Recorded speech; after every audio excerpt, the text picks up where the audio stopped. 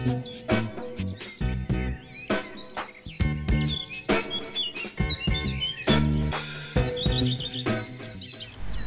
Stadtgärten. Ich bin hier im Gemeinschaftsgarten des Club Textlab in der August-Bebel-Straße in Dresden. Wir haben hier angefangen, eine essbare Hecke zu pflanzen, verschiedene Kräuter, ein Hochbeet, verschiedene Blühstreifen und das alles zusammen mit den Mitarbeitern des SLUB.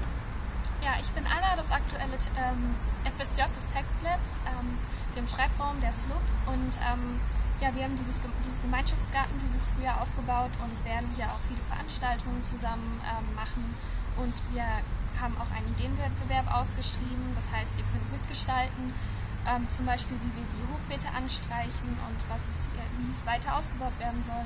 Und ich habe heute gelernt, wie man die Sträucher vermehrt.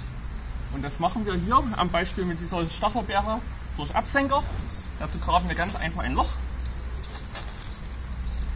legen den Ast hinein, tun ein bisschen Erde drauf, dass er Bodenschluss bekommt, legen einen Stein drauf, den ich schon mal vorbereitet habe, dass er nicht rausrutscht, gießen ein bisschen an und dann wird ungefähr bei guten Wässern und ähnlichen wird er bis Herbst anfangen Wurzeln zu bilden und dann kann man ihn abschneiden und weiter verschenken und weiter vermehren.